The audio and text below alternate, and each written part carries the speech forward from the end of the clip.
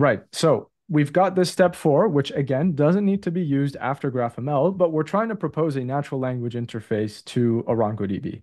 And so part of this requires us to work with LangChain, uh, which requires a bit of setup, which we will skip. But let's just assume that we have an object called chain, which is connected to our database, has access to kind of the general schema of our data so that it knows what are the fields, what are the collections, and then knows a bit of instructions through prompt engineering what it's supposed to do. And so it's a it's a multi-step process where we take a natural language prompt, convert it to an AQL query, execute that AQL query on the DB, fix the AQL query if there's a mistake, so kind of a self-correcting LLM step, and then returning the result in JSON and having an LLM model translate that JSON result back to natural language. So for example, if we say something as simple as fetch me the predicted tag of a random product that we've just we've just predicted along with its key, we can see a very, very simple AQL query that tells us, okay, well, let's just iterate through product, sort randomly, fetch the first one, and return the key and the tag. So very briefly, we can see that, okay, this particular product is labeled as an unauthorized distribution.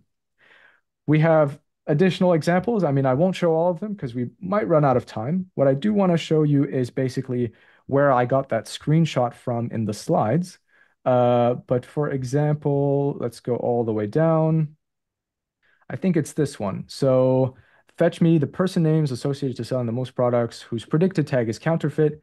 Here you see again a for loop across our person collection and uh, iteration across our edge collection to fetch for products labeled as counterfeit. Um, so at this point, um, this is kind of a, a really nice example of showcasing kind of the natural language result that you would be able to get with this integration. Um, mind you, you can also combine it with Arango search capabilities, so it doesn't need to be after an ML job. You know, you can even write data with with this natural language. You know, say like update this particular person to have attribute foo bar, for instance, or create an edge from person one to person two, right? So it's a really nice way to kind of manage a DB.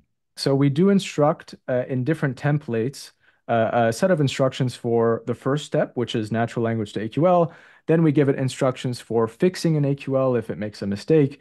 And then we do a third step to say, okay, here are a set of instructions for translating JSON results back to natural language based on the user's question from the beginning. So yes, prompt engineering is required. This particular demo has no fine tuning whatsoever. It's just working off of a GPT 4.0 uh, model. And so we're able to get pretty nice results using a, you know, out of the box LLM with limited prompt engineering. So we're actually, it's, it, it does look very promising. Yeah.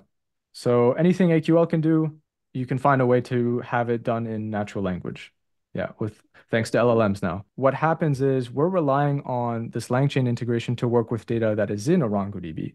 But what we are we have been using is LangChain has a lot of nice tools from building knowledge graphs from unstructured text, such as PDF documents or Word documents. So it would be just a matter of getting that unstructured text in a graph representation, and then suddenly you could take advantage of of of uh, of this GraphRAG approach in ArangoDB.